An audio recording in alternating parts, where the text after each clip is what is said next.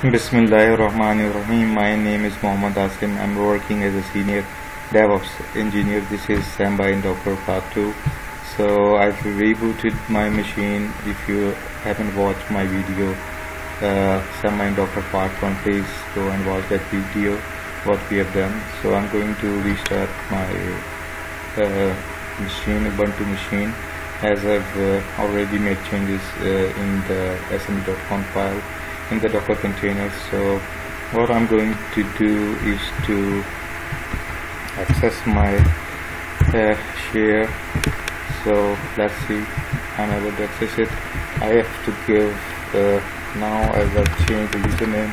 I have to give the new username and password which is abc so one thing I need to tell you that if you uh, haven't reboot the Windows or your host machine these changes might not apply so you have to just run my bash script and just stop the machine and and you know reboot your host machine. Uh, but in production you don't actually have to do that but you have to just simply you can, uh, you can change the password and use it. So as it is caching so I have to reboot my machine. Let's see I'm able to so uh, as this test is created by another user it will not allow me to create any folder or file inside the container you see. So what I'm going to do is you know I've you know give the full permission to uh, my you know outside container I'm able to create a new folder in it so um, I'm going to play awesome.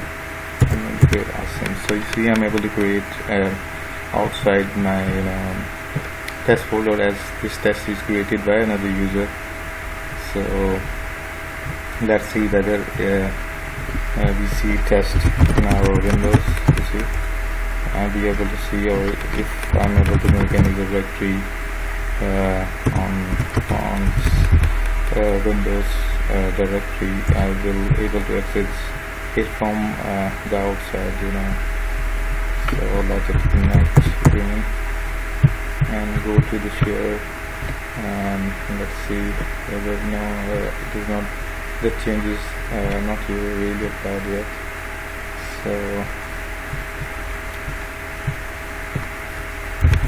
uh, no actually I've done a mistake. I've created this uh, outside the Windows container. So pwd make sure that you uh, I'll check where you are standing at the moment. So I'm going to create make uh, so let's see the changes applied and as you see. Instantly uh, the changes are applied.